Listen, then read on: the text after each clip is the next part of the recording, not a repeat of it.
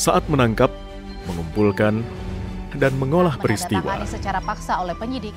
kami kerahkan upaya terbaik. Ketika menyampaikan berita serta informasi, kami tak sekadar menyapa.